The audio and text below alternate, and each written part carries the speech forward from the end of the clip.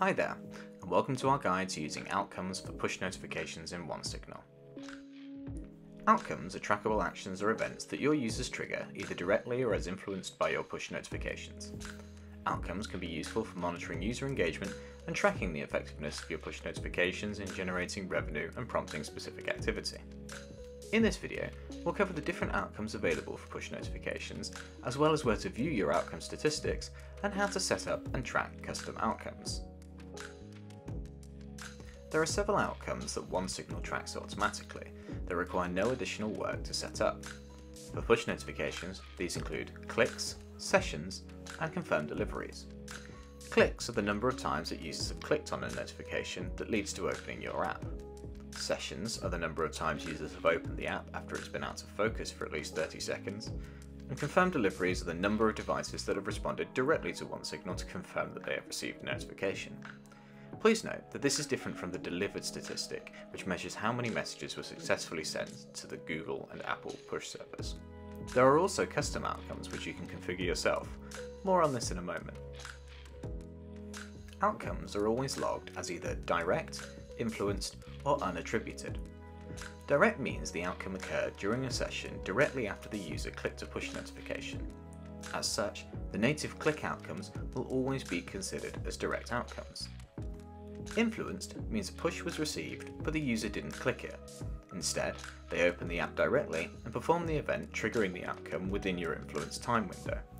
For example, if your user receives a push notification but swipes it away, then starts a new session within your influence window and triggers your outcome, this will be considered an influenced outcome. You can change the duration of the influence window by going to Settings, Messaging, Influenced Opens, and selecting a value from the drop down menu.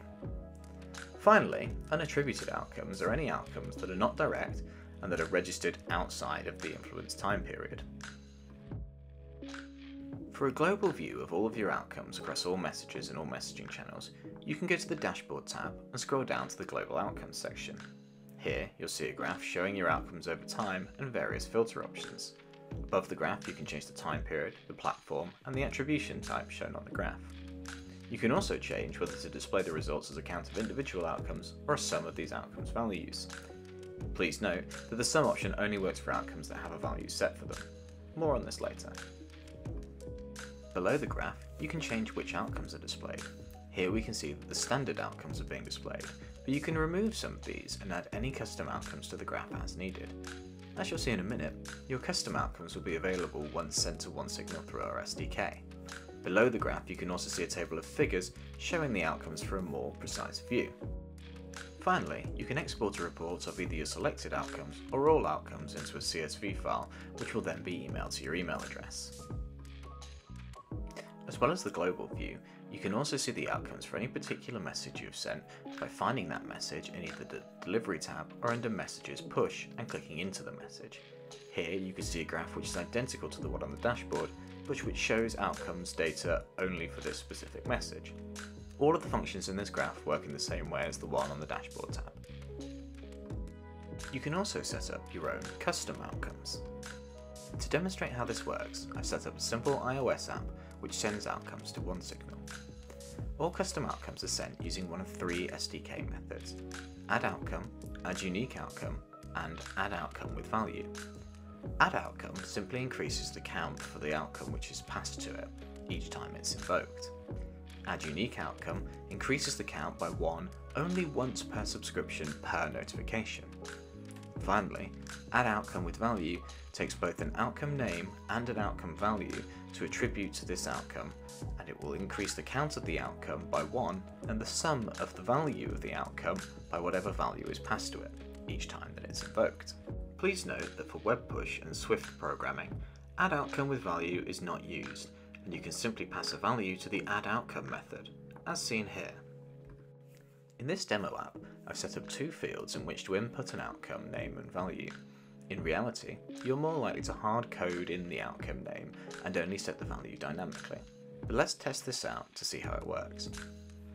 When I enter an outcome name and click add outcome, we can see that instantly this outcome appears in our global outcomes chart. If I go back and click this again, we'll see the number of outcomes rise by 1. If I send a unique outcome, we see that it registers, but if I go back and click the button again, no matter how many times I click it, the count doesn't increase.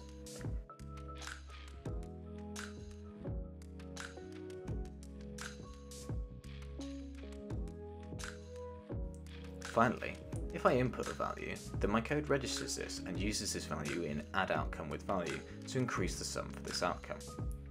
We can see here that it's increased by 10, but I can go back and change the value to 100 and we can now see that it says 110. Notice that all of these outcomes have been classed as unattributed because we haven't received any push notifications. Let's send a push to click on in order to open the app and see what happens then.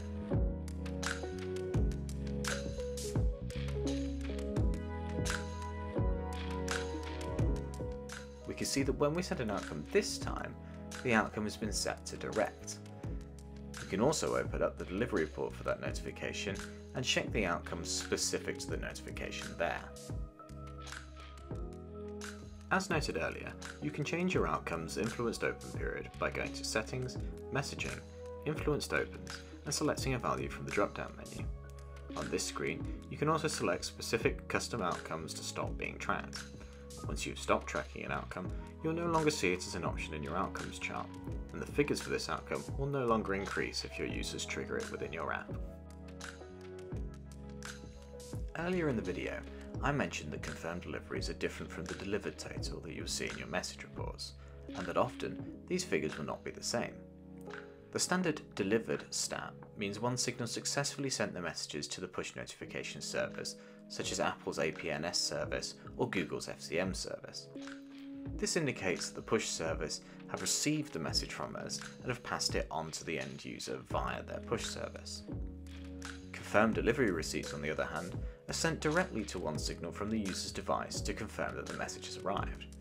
It's very common for the confirmed delivery count to not match the delivered count for several reasons, including the device being switched off, having an unstable or no network connection, the token is invalid, or the device is unsubscribed and we've not had an unsubscribe event from APNS or FCM yet. If you find that you have significantly lower confirmed delivery rates than you expect, there may be an issue with your implementation. See our documentation for a list of things to check. For more details on confirmed deliveries, including troubleshooting steps, please see our guide at documentation.onesignal.com or scan the QR code on the screen now. Thank you for watching our Push Outcomes guide. For more information on outcomes and other analytics with OneSignal, please visit our documentation pages or scan or click the QR codes on the screen.